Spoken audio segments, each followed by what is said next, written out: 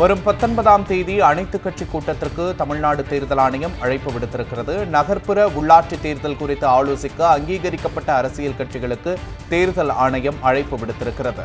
வரும் பத்தொன்பதாம் தேதி அனைத்து கட்சி கூட்டம் நடைபெறும் என தமிழ்நாடு மாநில தேர்தல் ஆணையம் அறிவித்திருக்கிறது.